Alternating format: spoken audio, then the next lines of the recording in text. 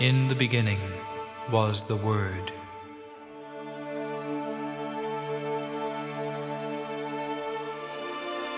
The Word was in God's presence. In the beginning was the Word, and the Word was God.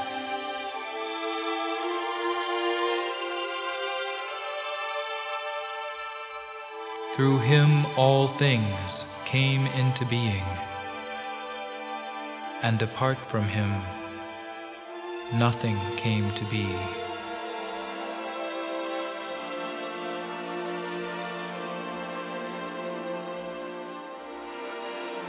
In the beginning was the Word, and the Word was life. The Word became flesh and made his dwelling among us. The Word became flesh, and we have seen his glory the glory of an only begotten Son, coming from the Father, filled with enduring love.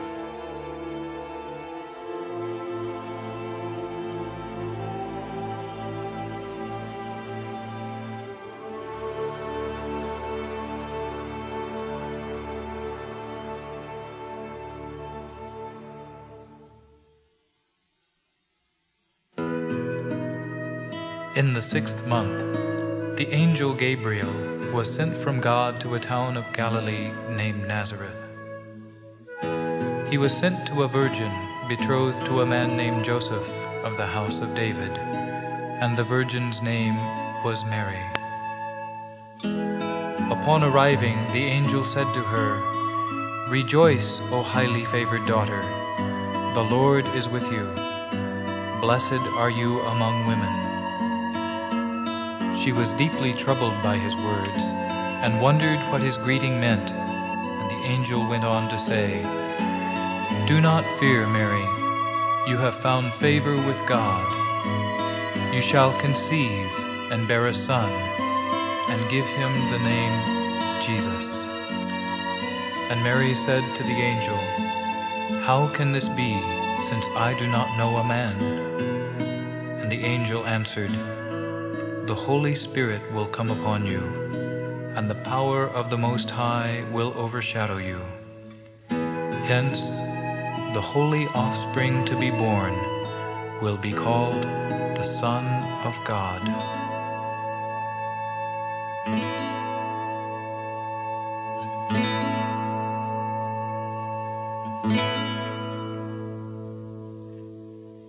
My soul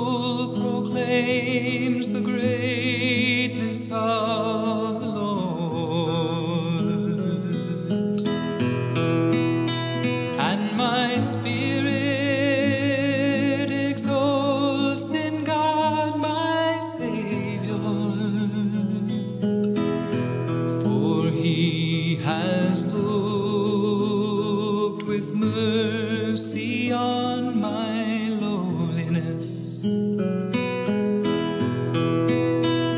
And my name will be forever